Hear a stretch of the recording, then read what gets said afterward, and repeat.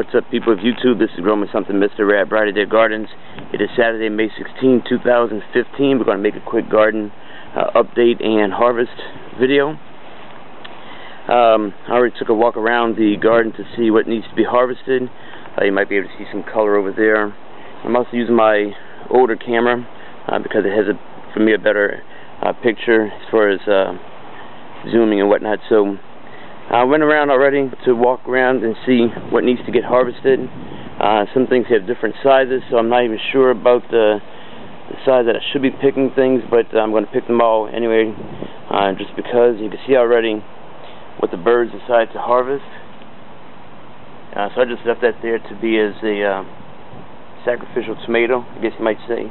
Here's another one here that they started picking on, so I just turned it over and they just start eating the other side thinking it's new, so I've um, got eggplant here that I can harvest, some green and white eggplants. Over here I have some uh, scallop uh, squash. We'll get it close up here you can see the size of that bad boy right there. I've got uh, some uh, beans to harvest, a couple of tomatoes to harvest. I'm going to harvest them uh, yellow, orange colored because um, any kind of splitting or any kind of birds, uh, they're going to want to take their fill of it, and I don't want them to have any. So um, that's my uh, cucumber right there. Nothing actually growing yet. A small little buds for cucumbers, but nothing yet. So, alright, uh, let's just get this thing underway, shall we? Okay, so a couple of things that we use when we go to harvest. I use my basket, my nippers, and of course my straw hat. Got to have all that set up. Uh, so let's go ahead and get some of this white eggplant gotta watch it because they do have some thorns on it. They will hurt you.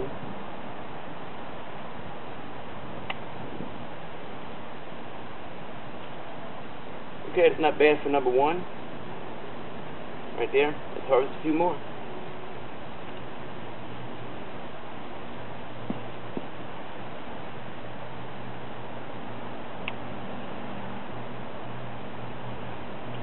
little smaller one. It'll be good though.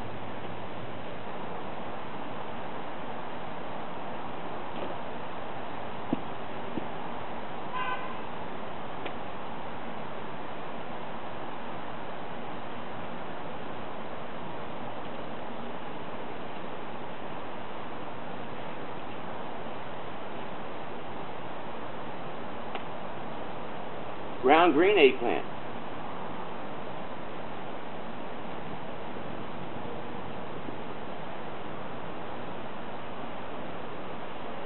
The rest are little small.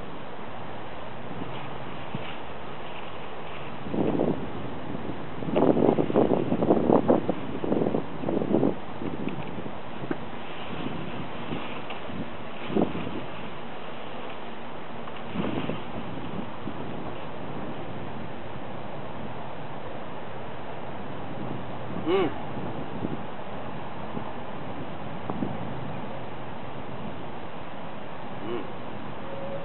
Oh, hey, real tomato. Nothing really better. Salt and pepper. Gotta get back to work though. Mm. So, if I had my heckle phone, I'll talk to these bell peppers right here, and I would say, hey, you're not producing anything for me. Grow something for me. Grow something like the rest. Alright, let's get a detailed view of what we've harvested.